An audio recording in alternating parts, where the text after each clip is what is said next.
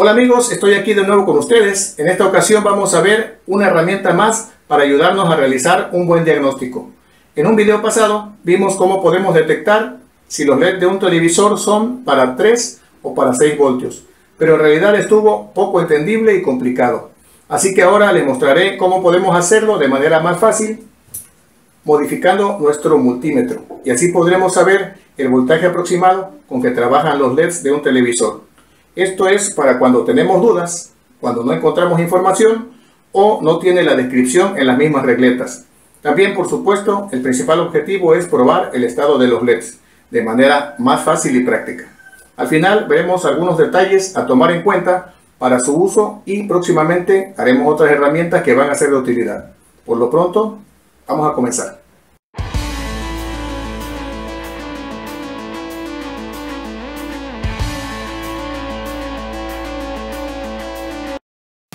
Muy bien, este es el multímetro a donde voy a hacer la modificación. En este caso lo tenemos que utilizar en la escala de 200 voltios de corriente directa. En la escala de 1000 es demasiado, ya que vamos a usarlo con voltajes bajos. Lo primero que debemos de hacer es comprobar que haya suficiente espacio. Así tendrán que verificarlo en el multímetro a donde ustedes vayan a hacer este procedimiento. Necesitamos esta pieza que es un jack invertido de 2.1 milímetros para chasis y una resistencia de 470 ohmios. Eso es todo lo que vamos a necesitar. Aquí en este multímetro Veo que tiene suficiente espacio en esta área. Así que voy a proceder a presentar la pieza para marcar el plástico y posteriormente haré el agujero. Yo les voy a compartir cómo lo hice. Pero si ustedes encuentran una manera más fácil de hacerlo, adelante. Lo primero que hice es con una broca de poco diámetro hacer un agujero. Después con una broca de casi la medida de la pieza. Y de ahí fui haciendo un poco más grande este agujero. Posteriormente con una lima terminé de hacerle la forma y procuré que estuviera del tamaño exacto para no tener que colocarle tornillos. Al quedar de una forma ajustada, se puede solamente aplicar pegamento. Podría ser uno como este, que es cianoacrilato, o como este, que es un pegamento epóxico, que tiene más cuerpo y se puede aplicar solo por la parte de adentro para que quede firme. Después, al centro del conector se solda la resistencia de 470 ohmios y se coloca un cable de color rojo. Esa será la entrada de voltaje positivo del convertidor de corriente. Y se coloca un cable negro en la orilla que es la parte negativa y la vamos a soldar por la parte de adentro a donde van las puntas de nuestro multímetro.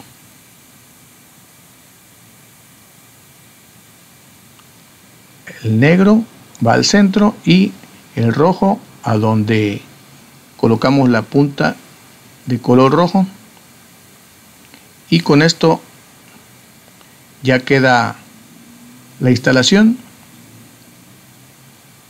Solamente vamos a volver a colocar todo en su lugar y después vamos a proceder a probar.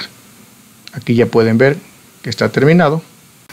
Para hacer las pruebas debemos de comprobar siempre antes de conectar el convertidor que el selector se encuentre en la escala de 200 voltios de corriente continua y no lo tengamos en la escala de ohmios porque el multímetro se puede dañar.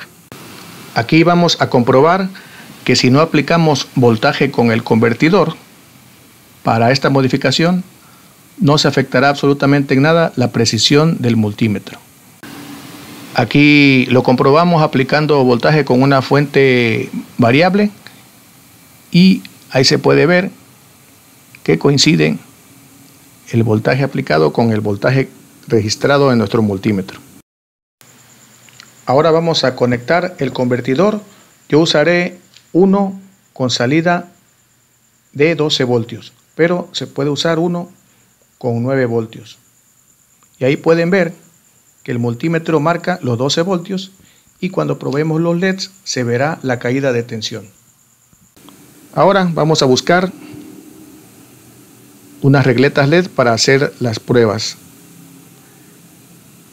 Estas que tengo aquí son de un televisor Alux.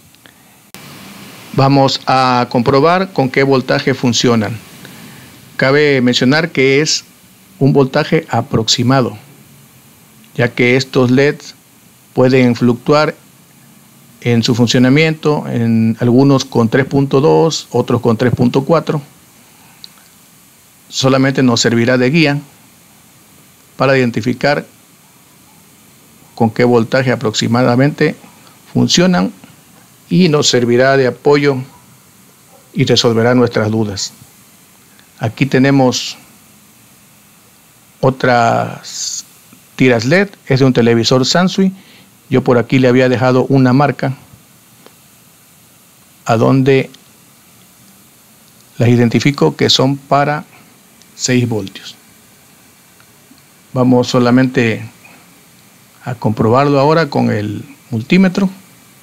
Y aquí pueden ver que el voltaje o tensión se estabiliza en 5.2 voltios, que es un voltaje muy cercano al voltaje de trabajo con el que debe funcionar este LED.